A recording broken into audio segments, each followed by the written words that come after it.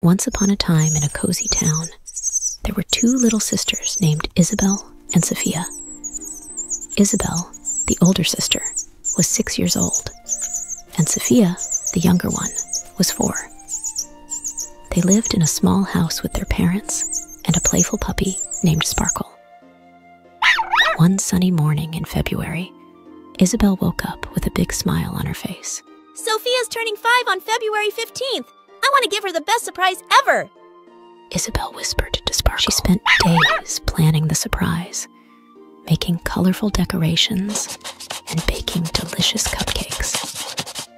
On Sofia's birthday, Isabel led her into the living room, where a burst of balloons and streamers greeted them. Whoa! Happy birthday, Sofia!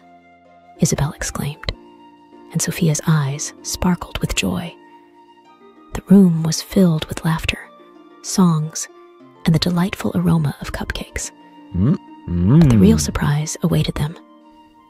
As Isabel opened the door to Sofia's room, something magical happened. A burst of colors enveloped them, and suddenly they found themselves in a magical world. The sky was painted in shades of pink, blue, and purple.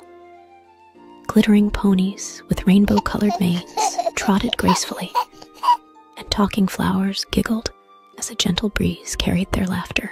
Wide eyed with amazement, Isabel and Sofia realized they were in a world filled with enchantment.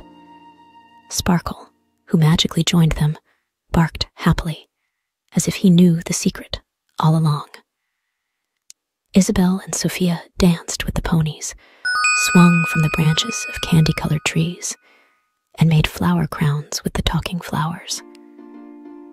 The magical world was their playground, and every moment was filled with laughter and wonder. As the day turned to night, the sky was adorned with stars that twinkled like diamonds. A grand feast appeared, featuring cupcakes, candies, and all their favorite treats. I'm so happy, Isabel. This is the best birthday ever. Sofia exclaimed, her eyes shining with gratitude. With a heart full of love, Isabel hugged her little sister.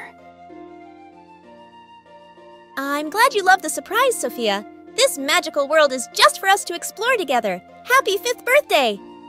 Whoa! As they blew out the candles on the birthday cake that magically appeared, the magical world sparkled with joy. Isabel, Sofia, and Sparkle made a wish, and in a twinkle of stars, they found themselves back in their living room. The enchanted adventure might have ended, but the memories of Isabel and Sofia's magical birthday would be cherished forever. And so, with hearts full of love and the warmth of a magical celebration, two little sisters drifted into a peaceful, dream filled sleep. And that, my dear friends, is the tale of Isabel and Sofia's enchanted birthday adventure.